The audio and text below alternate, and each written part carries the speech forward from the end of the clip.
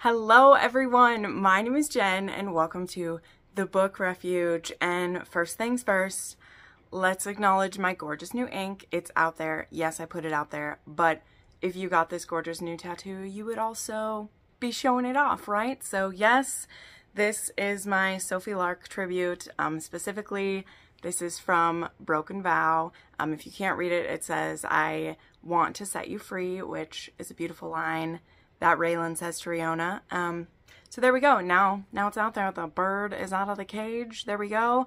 Um, and also, we are going to be doing some wonderful recs today. I'm actually surprised I haven't done this one yet. Um, but I've, I've done a lot of other um, taboo tropes or kinky tropes that relate to this. This is another one in the same way that like my voyeurism one where I'm going to have this labeled as taboo because I don't label them as kinky so that they don't get caught in the algorithm. But this one's this one's not that taboo or kinky, but obviously because of some specific books that came out in 2022, which yes, those ones will definitely start this list off, um, people are more interested in this trope. Now, um, those of us who've been reading BDSM or kinky books for more, like we've known about this. We very much enjoy this already. Um, and I think that books like these first couple I'm going to share really put it back into people's purview. And so I've seen a lot more authors purposely putting it in, um, which is totally, totally fine because I'm here for it. It's one of my favorite things that can really show up in any subgenre of romance, and I'm here for it. Like, honestly, it can show up anywhere and I'm good for it. So some of these, we're going to go through these ones kind of quickly. That's what I like to try to do with my taboo or oddly specific ones is to not have them be hour long videos. And also, again, a lot of these books are books that I've talked about in multiple kinky or oddly specific rec videos because again, these usually pair with other things, you know, good girl, praise kink, it usually pairs with other things. But I wanted to make a specific video for this one because number one, it comes up a lot in the search search data, so it's helping me out. And also in my book book in my video recommendation form, which is listed down below, um, I have gotten this one popping up quite a few times um, recently and I was like, I'll finally make this one a video just to have a definitive place to point to it. But I gotta tell you, there are so many recommendations for this one that they may not even be specifically listed under Praise Kink. So maybe I'll bring your eyes, your mind to some that you didn't think about for this, as well as remind you that like, oh yeah, that's maybe why I liked that book so much, right? Also, this lipstick is giving, okay?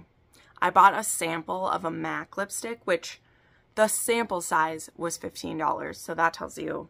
But after trying it, I understand. I will be buying more because this color is giving. Like, like we said, I maybe shouldn't have paired it with like a bright butterfly headband, but I don't care. I was feeling the flying theme, right? That's what I was feeling. So let's go ahead and start. And like I said, we're going to start where you would expect me to start with the Praise Kink. Um, and this entire series by Sara Cate, every single one of the books has praise in it, it at some level.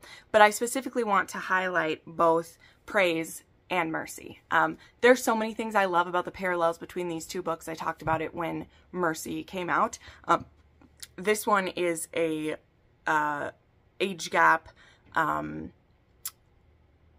ex's dad, um, and then a lot of praise and submission and BDSM goes into this. Um, and what I love about this book is number one, this cover is stunning and it really caught a lot of people's eye. I got an arc for this off of NetGalley because Sara Cate, um, they had put some of these arcs on NetGalley and I had read Sara Cate before and when I saw this and when I saw the title and I found out this was going to be a sex club series, I was so on board so quickly. And each book that came out has, like I said, both Eyes on Me, Give Me More, they all have some praise kink going. But this one has a lot in it. Um, you know, he calls her his pet, his good girl, you're very much going to be getting those very like directly this is praise kink happening in it. Um, and then why I also want to highlight Mercy, which this was you know, this isn't the last book in the series. We're going to have two more at least that is coming. But at the time, this one to me was a very good like bookend because Bo is actually that ex from the first one. Like he very much messes up his relationship with Charlie and he's a bad boyfriend and a cheater. And he also is very judgy of his father for his sex club. He's very like small minded about it. But in this case, he finally starts getting interested in seeing it and when he takes a, the quiz which there's this quiz that it's very similar to a real quiz out there that you can take to find out your kinks and everything. And he discovers that he is a brat and a submissive and he gets paired with one of his dad's coworkers um, who it, her name is Maggie and she and him agree to be like look at this beautiful picture of Maggie they agree to test out a sexual relationship together. And this is a case of a man getting praise back. And I have a few of those to share because, especially when it is an MF relationship, because obviously I feel like it's more likely that you'll see praise towards a male happening in a gay romance. Um, or a BDSM scenario, but there are a couple I'm going to share where they're not BDSM and there's still praise happening. So definitely stick around for the rest of these. If you love these or you've been curious or you're not sure you want to go as, you know, sex club as these are, I understand and I have some definite variations for you, right? So next I'm going to go to another author who I could recommend like their whole like this author throws praise kink into everything. But i'm going to specifically talk about my two favorites by this author. So first we have carnal urges and yes i have my beautiful alternate covers right now because i literally dig these books out for almost every video um and so i grabbed these ones first. But this one is book two in the queens and monsters series by jt geissinger this series took me by storm in 2021, um, and we'll be talking about this one in just a second. But Carnal Urges, Daddy Declan, when he gives praise to Sloane, oh my god. Like, there's a reason this was my favorite book of 2021, and it's because it has so many of my kinks that I have. And Declan and Sloane like he is able to do praise in such a way where like Sloane doesn't want to need praise. She very much is like, I don't need it. And then when she gets it from him, she is so turned on, so into it that she's actually kind of mad. But he's just able to unlock her in a way that she just never expected because she's always the one in control with men. And Declan not only doesn't let her have that, but he also understands that she doesn't want it as much as she thinks she does. And I just love that about them. And in Brutal Vows, which this was one of my favorite books of 2022, no surprise there, um, this one was very interesting to me because this one has mutual praise in it. But when it's really, really beautiful is actually when Raina is giving praise to Spider. So again, this one, and these books by JT, they aren't even like specifically BDSM. It's very much just these two as they figure out their their sexual relationship this becomes like an arranged marriage between these two um, between the italian mafia and the irish mafia. Um, actually declan has to set up this arranged marriage between spider and raina's niece because he's already married but they need to make an alliance and so spider volunteers to do it reluctantly, but he's like, I can, it's fine. I don't care who I get married to. I'm never going to love again. Um, he's very broken boy. And Raina, she was in a very abusive relationship. And so she doesn't ever want to have sex with a man again. But there's something about Spider that just draws her to him. And now she's very much hesitant about sex because she doesn't want to lose herself to someone again and someone who could hurt her. And specifically the feelings that she that she's feeling for Spider she realizes that she could be hurt by him because she likes him so much. But Spider's not someone who would ever take advantage of that or who would abuse that trust. He just, he would never do it. And again, something clicks for Raina because she really enjoys when he's praising her, calling her his queen, calling her beautiful.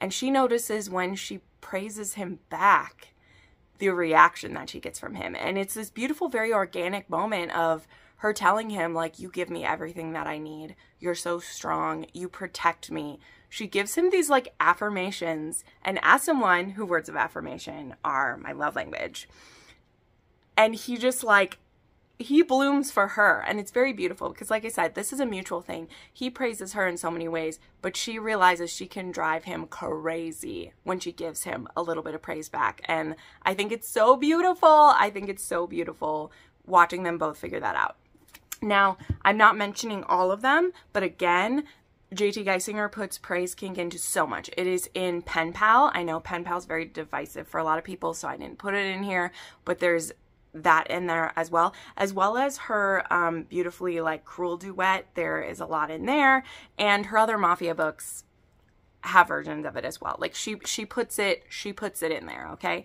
But I just picked my favorites. So then another author who writes a lot more like pretty much everything by her has BDSM in it and pretty much every book in this series has some kind of praise in it. But we're going to start at the beginning because you know what? The beginning is a mighty fine place to start. And that is Priest by Sierra Simone. Um, mm, there's just something about this cover, okay? The, the new covers, they just can't compare with this, okay? They just can't. This is beautiful. This is a book that I think scares a lot of people and that they feel will be very taboo. Um, maybe it's just that I've read so many extremely taboo things in this that I actually find this this really beautiful and not as taboo. There definitely are some like sacrilegious scenes in here, so I can understand if you are Catholic, if you are religious, this making you uncomfortable. But I've also heard from some Catholics that they found it very interesting, but I would never push that on anyone. That is completely up to you. But in this one, we have Father Tyler Bell, who is a priest, and this story begins with him starting to hear confessions from this woman who is telling him some very sexual sins that she has done and is thinking about doing. And they turn him on and he feels very uncomfortable about this. And then it becomes clear that she's continually coming back to see him purposely to kind of arouse him and get it to that. And see, Tyler Bell, he wasn't always a priest. In fact, he became a priest as a form of atonement um, after he lost someone very important to him.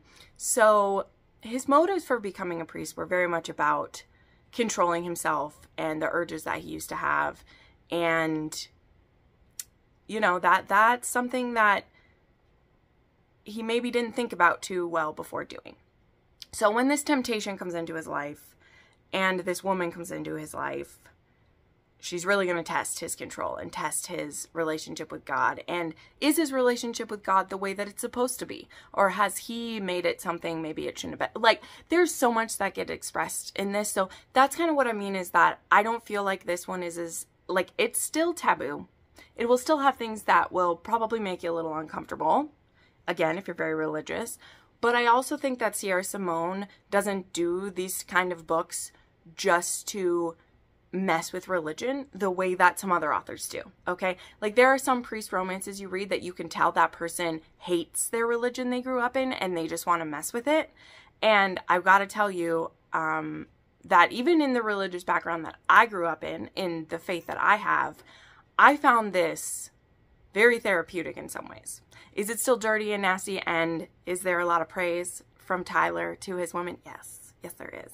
And again, this one also Sinner and Saint have that in them as well, and so do other books by Sierra Simone. But I wanted to bring this one up because I just think it's I think it's very beautiful, and their relationship, how it unfurls, is very powerful to me. Okay, again, another author who puts some praise into pretty much every book in this series, but I'm going to show you my favorite one. But if you start this series and you like it, I think you will like what you find in the whole series. And again, this is a series that won't surprise anyone. It's definitely on the tippy top of a lot of people's lists. But I have Twisted Games by Ana Huang. I'm also extremely happy that I finally got a copy of with the one with Rhys on the cover. Um, I originally only had the alternate covers, but I'm still missing Twisted love, but that's my least favorite one anyway. But anyway, Twisted Games is a bodyguard romance. It is a princess and bodyguard romance, and I just I love that, okay? I like modern royalty romances even though they really only have like two ways that they go. they really only have the way where the person has to leave the royalty to get married or they make the person royal when they get together. Like there's really only two stories. But I loved this one because it gave me all the Princess Diaries 2 vibes. I loved Rhys. I love that it, it was Grumpy Sunshine. I loved, I think this one is Bridget, right? Princess Bridget, yeah. And her needing to step up, step up to the throne. But this starts with her, I believe she's away at college. I think she's at college or else she's living on her own. And Rhys Larsen ends up taking over as her bodyguard when her bodyguard can't be with her. I can't remember. I think it's he got married or his wife's having a baby or he has something like he has some reason why he can't be with her. And so Rhys becomes her bodyguard. And so they spend it's forced proximity. They spend all this time together and they just can't help but be drawn together. And the thing is too is that Rhys also has more of a complex lineage than we think um, that may cause issues when Bridget gets called to be the next queen? And what will that mean when she has fallen so deeply for her bodyguard? Like, will this be able to work out? Um, yeah, this is my favorite one in the series. I just, I'm a simp for this kind of setup, okay? I love it so much. And the praise in this is so good. There are some dirty, dirty scenes in this one. They are great. I love them so much. And again, if you love any of Ana Huang's books in this series. She has some praise kink sprinkled through all of them. She does in her new series. The king, is it King of Pride? Is King of Pride? King of, I can I just forgot the name of the, new series. King of Wrath? I'm not sure. But the first book in that new series also has some praise kink in it as well. So I told you, it was a year. Everyone was sprinkling it in everywhere. So you get a little bit of a dash of it everywhere. It's great. Um, because also, both books in this series have Praise kink, but we're starting with my favorite one, which was my favorite book of 2022, and that is Heartless by Elsie Silver. Oh boy, when Daddy Cade opens his mouth, and I'm saying daddy because he is a father, not because this one has daddy kink, even though they kind of joke about that a little bit. Um, well, at least Willow jokes about it, and he's like, no, we won't be doing that we won't be doing that. So this one doesn't also cross over the daddy kink. But if you have a daddy kink because you like reading about single daddies, then this is the one for you. This book has so many things that I love, but he is so like for a man who's very taciturn and doesn't speak much because he's a grump because he has a lot of stress because a lot of things when he gets into intimate situations with his nanny willow his mouth does not stop and this boy this man is so uh what are the words? Like supportive in the bedroom and praising in the bedroom and telling her what a good good girl she's being for him that I just I can't I can't I can't. Okay I can't. And also his brother in the first book Flawless does as well. But I mean you definitely could start with uh, you should start with Flawless again, I'm just holding this up because I will find a way to put this in like every every video I do because I love it. Keeping it going. Um, again, another author who puts praise kink in a lot of things, and I'm going to show you the first book in the series. Um, but I also, well, I'll mention the second. The second book's actually the one I meant to grab. Sorry, let me just switch out. I thought I meant to grab the first one, but because it's the second and the third and like the fourth one that I have it the most. But Learn My Lesson by Katee Robert. Yes, this is my beautiful cover. People ask where you can get these. These are originally part of the Kickstarter that she did um, to get these gorgeous um, clinch covers done for her series. But you can get these on Amazon. These are not behind anything special you have to do. They range between like 22 and $30 for these hardcovers though. Some of them have been on sale at different times. So add them to your cart and keep your eye on them or I'll have this one like linked down below. But anyway, this one's book two in the series. Um, and this one I love because um, this is a triad. This is an MMF. Um, this one is at a sex club, and this is between Meg, Hercules, and Hades, okay? And yes, if you didn't know this, the Hades in this series actually does connect with Neon Gods, which I didn't put Neon Gods in this, but that also has Praise Kink in it because Katee Robert likes to write Praise Kink, okay? It's She puts it in there. It's there. It's gorgeous. But I love this one because Meg is a switch. Um, Hercules is a sub, Hades is a dom. And so there are scenes in this where Meg is dominating Hercules and Hades is doming both of them. And I love it. There is pegging in this book also. Fantastic. Again, there is MM content and MMF content. Um, these have voyeurism and they have toys and they have edging. Like Katee Robert puts it all in. Okay, she puts it all in. And like, though I haven't loved some of Katee's newest stuff, this series will always be my heart. It's why I wanted these gorgeous copies of it because this series this series came at a good time and I love it so much. So yeah, this one, this whole series really like A Worthy Opponent has some good stuff in it. The Sea Witch has some good stuff in it. But again, I love when a man is getting praise a lot. I really do. I don't think that it happens too much because we usually want good girl to be happening. But both Meg and Hades call Hercules their good boy at different points. And Hercules, he is. He's just a young hero. He just wants to do best. And like, he thinks Meg is in a dangerous relationship with Hades, but really it's kind of a twisted game that Meg and Hades like to play together. And Hercules gets wrapped up in it. And it's all great. I love it. I love it. So, highly recommend. Then another one, and this is one where this is very subtle in this one. This the this series doesn't have anything to do with BDSM. Um, but I'll explain this. So actually, I actually have Last Light by Claire Kent on this. And why this book is so satisfying to me is many things. This is a post-apocalyptic. This is an age gap. Um, he was the town mechanic, um, and she was a teenager when everything went to hell. Her grandmother has died. His daughter has died. And they're both going to be traveling in the same direction, and they end up traveling together. Um, she is actually a virgin because the world all went to hell before she lost her virginity. And while they're traveling together, she asked Travis, she's like, hey, why can't we do something to make each other feel good? Why can't we do that? And he's like, you want to sleep with me? And she's like, yeah, I do. I find you attractive.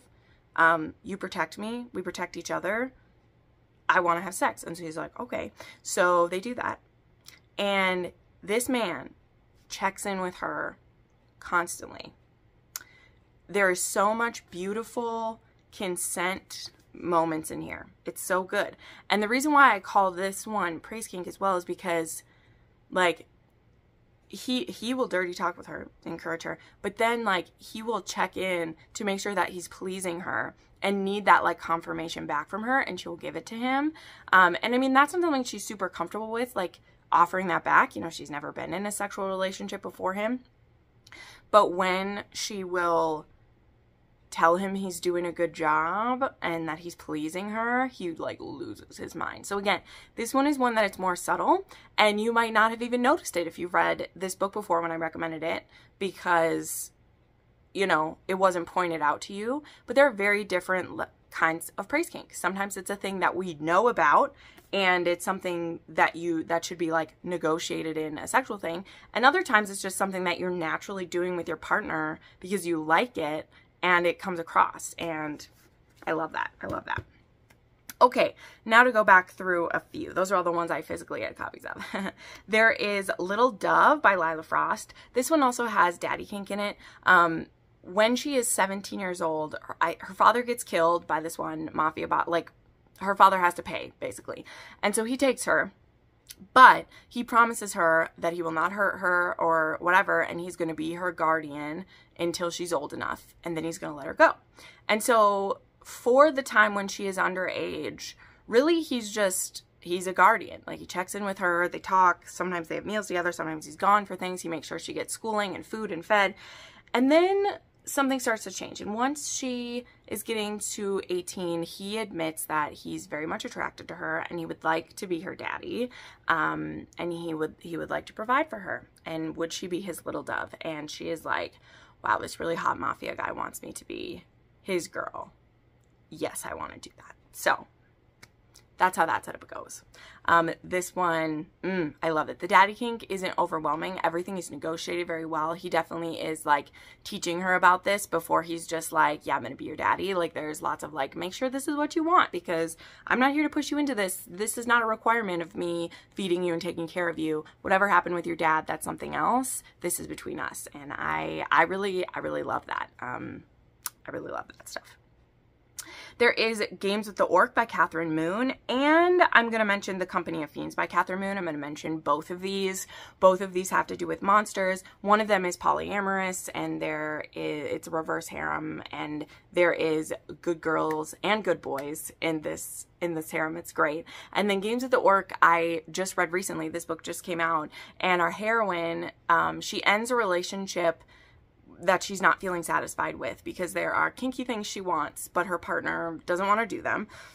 And when this relationship ends, she takes her friend's advice and signs up for this experience where you basically can it's a monster like date like it's a monster like escort service. So you can hire a monster for the night to fuck you however you want and you can pick whatever kind of monster that you want. Um, and you go through like a dating service though and there are lots of safeguards like this was safe safe safe. But our heroine pays for a week's worth because she wants to try out all of her really kinky desires that she has and see if she actually likes them because that's the thing. She knows what kind of like you know, what kind of adult entertainment she likes to watch, but she doesn't know if she actually likes it in reality because she hasn't been able to live it. And so the man who gets assigned to her, well, is an orc, um, and he gets assigned to be her partner for that week. And we try all the things, and some of those things involve praise. Sometimes he's the good, strict um, orc who's seeing to her pleasure, and sometimes he's the ravenous beast who's there to just um, have some rape fantasy with her too. So literally, we check out the whole board of things in this, and it was great. His Pretty Little Burden by Nikki Harris. This one, mm, guys, this one is like part of a duet that's within a series. This is actually the first Nikki Harris that I read. I didn't start at the beginning. I know, I plan to. I have the first two books in this series and I want to get to them. I will get to them. But I actually started with His Pretty Little Burden. This one is Age Gap. It's not Daddy Kink, but it is Dom and Sub. And there's lots of praise that goes into this one. This one also has quite a few darker themes than even some of the other ones I mentioned. So check out the full trigger warning list for this one. But he calls her his little fawn and he takes care of her so well. And I just, I love it. I love it. I love it. Unhinged by Onley James. This is an MM psychopathic romance where our one hero, Adam, had actually killed the other hero, Noah's father. But the thing is, he is a part of a brotherhood of psychopaths who've all been raised by Thomas Mulvaney. Um, and he's been trained to kill. And the thing is, Noah's father was a child assaulter. I don't want to say that word and get dinged on YouTube here. Um, but Noah didn't know that, and he'd actually blocked out what had happened to him as a kid. So he just knows that Adam Mulvaney had killed his dad. And so now he is like 18, 19, and he wants to get revenge.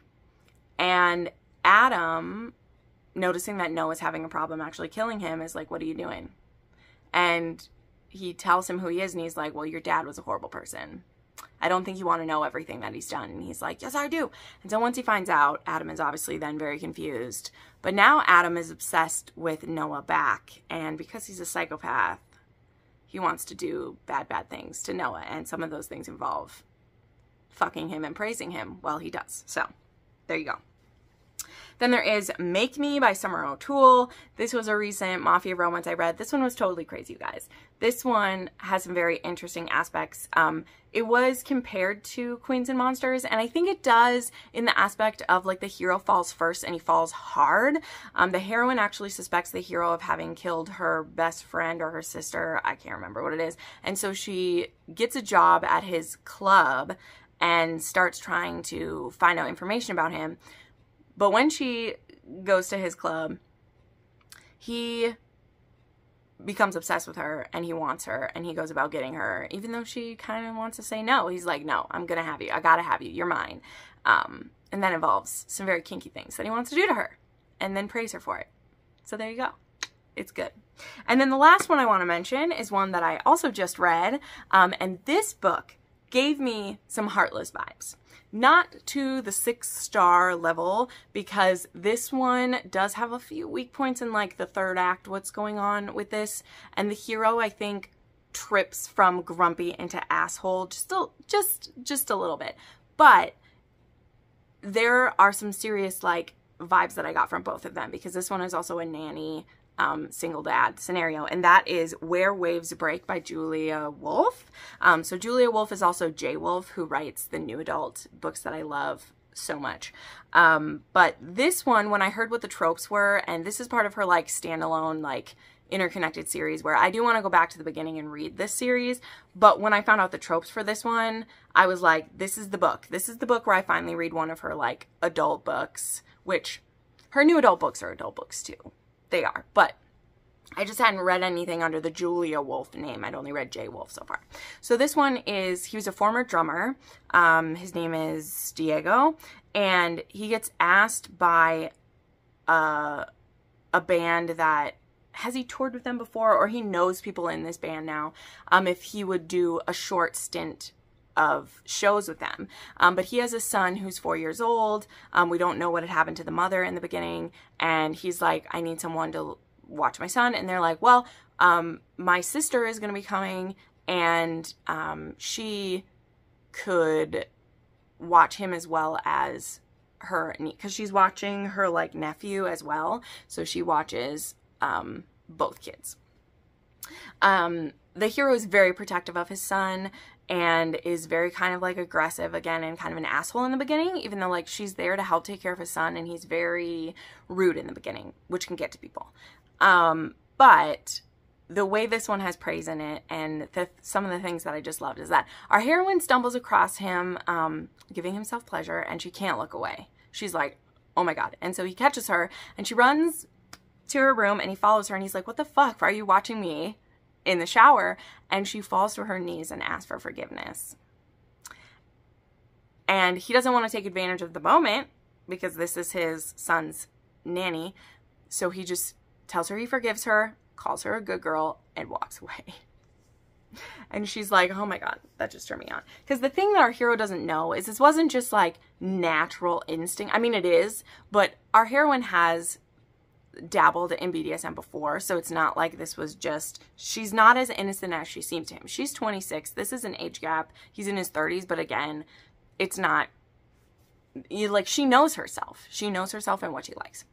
Then there's scenario where now we get, like, back to our regularly scheduled programming and the hero discovers that he still needs a nanny because he doesn't have anyone watching his son during the day. He's been bringing his son to work with him and he works in a garage and so it's not safe. So he knows how much his son loves his nanny and so he asks her to come and he's like, I promise I won't bring up what happened but I really need you. I know you can take care of my son. I trust you. Please come. And now it's forced proximity. We're living together, knowing that we have complementary kinks, and things are going to go places things are going to go places. So, like I said, third act conflict wasn't my favorite in this one, but I did give this one four and a half stars. The spicy stuff was great. The communication in the bedroom was A+. plus. Not so great in some other places. But again, if you're going to look for some things to fill the heartless hole, this is one that could do it a little. Again, heartless, perfect. This one, pretty good. So there you go. Those are some recommendations for things with praise kink and good girl and good boy. And let me know some of your favorites. Again, there are so many of these, especially in the last couple of years, because people I think have really keyed in that everyone wants to use good girl and they want to put good girl in like their clips of it and everything but it's something that I've loved for quite a while. So if you enjoyed watching this, if you made it this far, please make sure that you give this a like and that you comment down below one of your favorites, either one that I listed or one that you think I should check out. Um, I probably have, but still, give me the recommendations. Um, if you have a recommendation for a taboo, kinky, or oddly specific rec, check out my link down below for a video recommendation. Make sure you click video recommendation and not book recommendation, if that's what you mean. Because I did have someone putting book recommendations in my video recommendations, so I think they probably just click the click the wrong link. So, thank you so much for watching, and I'll see you in the next video, friends. Bye!